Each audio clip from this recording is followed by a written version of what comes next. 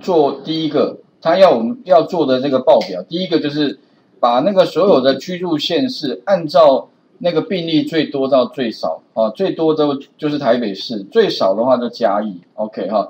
那当然，如果你要做这个，当然第一个你要先找到对应的栏位，有没有栏位就居住县市。第二个，它算出它里面有几笔，几笔的话就抗的，所以刚刚做的动作非常简单嘛，就是第一个你有个 data，第二个插入枢纽分析表，然后按个确定之后，把那个居住县市哈，你要 group 放左边，你要算的笔数放右边，这样子最后再做一个排序，就 OK 了。啊，如果你要列出前前十个的话我刚刚有提过了，其实这边也可以吧，看前十个、前五个都可以，前几个，比如前。前五个啊，我们这个当然没没有让我们做这。不过如果你要前几个，马上就出来。那如果你要图表的话，哈，啊，如果你要取消，这边也是一样。取消的话就是把这个前几项，哈，哎，就把它取消，那个清除在这边上面有个清除，清除筛选，OK，它就清除掉了，哈。那再来的话呢，哈，我们做完之后，哈，哎，再来就是那个现，这是哪个国家？国家一样就。感染国家拖拉到左边，值拖拉到右边，OK，然后你顺便也可以画出你需要的图出来，OK 哈。那其实这个就图例有没有？图例如果说你不需要显示的话，其实还可以什么？看一下上面这边有个设计，设计里面其实这边都可以做后续的哈。比如说你哪些要，哪些不要，这边都有啊。图例有没有变成没有？哎，这边也出现有没有？坐标轴的标题。在 Python 里面就叫 title 嘛，这个坐标轴的那个水平的话就 x label，y 的话呢就是垂直 label，啊你也可以再去设定这里面啊，所以其实它两边看起来是不一样的东西，但实际上哈，我觉得几乎都有相同的概念，也就是那个属性对应的关系都找到。像图例的话呢哈，在那个我们的那个 Python 里面就是一个叫 legend，好不好？然后 legend 那所以 legend 你如果有，那就是有图例；如果没有的话，那就是没有。而且其实这个概念差不多。啊，其他的话，这些上面你看到东西，Python 里面也都有了，只是说你要把那个对应关系找出来，好，两边就可以互转了。所以也就是如果你呃在枢纽分析表做得出来，你那边也可以做得出来。OK，那再来的话呢，我们在针对什么？针对后面哈，这个已经做呃感染国家，再来就是什么呢？呃，居住的乡镇。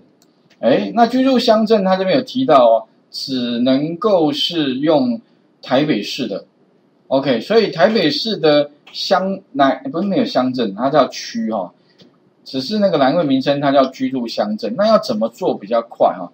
其实这边有提供各位两种方法，两个方法都可以做出来。第一个方法哈，我们可以怎么样？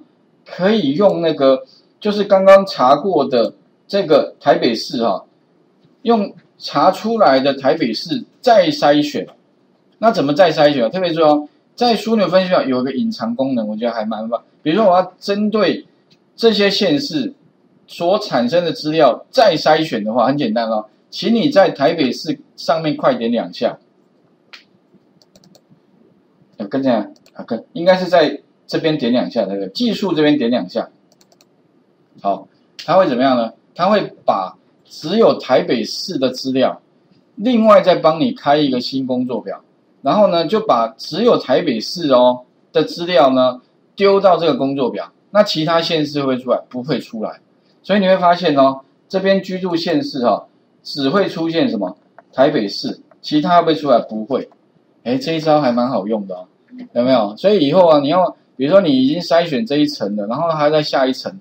比如说你那个在筛选哪一区，在区底下有个里里底下有什么零，哎，有没有一层一层都可以再去筛选，也可以用这一招。而且呢，这个工作表你也可以把它存起来，OK 哈，细部的再筛选，而且甚至这些枢纽分析表啊，其实我以前有教过，还可以配合 VBA，什么意思呢？就是在 VBA 里面全部都自动化，自动把你的规则先想好，自动产生你要的报表跟图表，哎，那不就？很快了嘛，OK。不过我想我们先不要扯远啊，反正先先，如果有兴趣的话，你可以在我的频道上面关键字打那个枢纽分析表啊，应该我有我以前教过的影片吧，好，请各位自己再看吧，哈，OK。好，那再来的话呢，如果你要针对这一个再去做的话，你可以再针对这个工作表再做枢纽分析表，有没有？那怎么做？一样，再插入什么枢纽分析表？这个范围就是只有台北市的。然后呢，把什么呢？把县呃居住的县市下面这个居住乡镇一样拖拉到列标签，再把这个居住的放在它的值，哎，那就统计出来了。所以基本上哈。当然，它这一题好像没有让我们排序啦，它只有就是列出来。所以第一个是四零七个，那最高的好像就是什么大安啊、中正、内湖啊。我们看一下，那如果在那个我们 Python 等一下做的城市啊的结果一不一样呢？它好像按照啊，它是按照什么笔画排序？所以呢，如果我把这个笔画排序，这个按照笔画应该是 A 到 Z。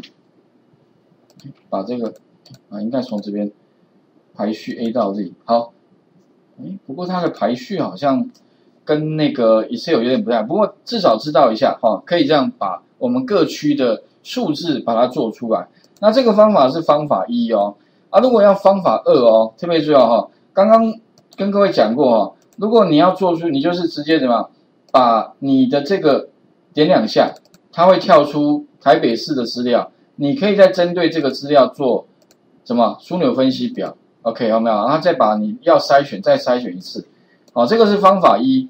那如果方法二的话怎么做啊？方法二哈，就再切回到刚刚的这个，就是台北市有没有？我我如果不点两下，我不用这一招，我用第二招。两个方法其实我觉得都还不错，很简单。一只要再把什么呢？居住县市，呃，居住的县市在居住乡镇哈。再拖拉到列标签，也就是说呢，你现在分析 group by 哈是两层的 group by，也就是说你现在除了 group by 县市之外，还要在 group by 它的乡镇，但是底下会出现什么？出现台北市的新北市哇，全部都给你了，也就是说它怎么县市底下还有乡镇都出来了，但是会很啊，可是我只要什么台北市，那怎么办？很简单。在这个箭头下方，哈，只要把全部的县市打勾取消，留下台北市的，按个确定。这样子的话，有没有发现底下的那个有没有啊？就是各区的也会出现了。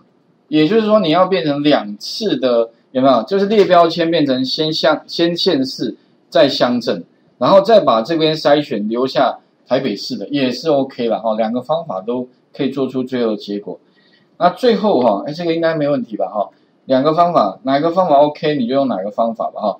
那再来的话，最后呢，他说就是要什么发病日，最后的发病日，哎什么什么，哎，最近台北市哪个发病日？啊，其实呢，我们最简单的方法哈，其实在那个 Excel 里面，如果要最近的发病日，我们干脆用刚刚这个得到它跳出来的这个资料哈。其实最简单的方法，发病日就 A 栏嘛，你就把这个 A 栏一样什么最近的，那就是日期最新的，你可以什么一样做什么资料里面的排序，那 Z 到 A 就可以了。留下来的最近的就是二零一八年六月二十五，好啊，再来它底下就是越来越前面的，所以最早发现是二零一七年六月二十八，一直到二零一八年的六月二十五，所以啊，这个资料最后的日期。是六月二十五，好，那今年好像又有新的病例吧？不过好像都集中在南部，好像就是前一阵吵得很凶那个事情，好啊，跟这个资料应该没有关系了哈。不过呃，请各位试一下，我刚刚好就是留下区的部分，对区的部分呢，记得哦，就是再筛选一次，那就会得到这个区里面的各区的病例。好了，画面先还给各位哈。啊，如果要得到那个最近的那个日期的话。那你就把那么台北市的那个产生的那个工作表再排序一下，哦，就可以得到我们要的结果啊。当然，我刚刚讲这东西主要是在 Excel 用枢纽分析表做，那主要就是说让大家知道了，其实 Python 跟枢纽分析表其实它能做的事情呢，基本上都是一样的，只是说一个是用滑鼠键盘看得到图形，看得到资料，那一个是你必须要下。城市语法，啊，利用什么？利用城市里面的物件，然后呢，知道物件里面的它的，比如说它的 function，它有哪些 function，那你利用它的 function 去帮你做到一样的事情。OK 哈，所以待会我们再来看啊，有有概念之后，我们待待会再来看，就是在 Python 里面呢怎么做哈。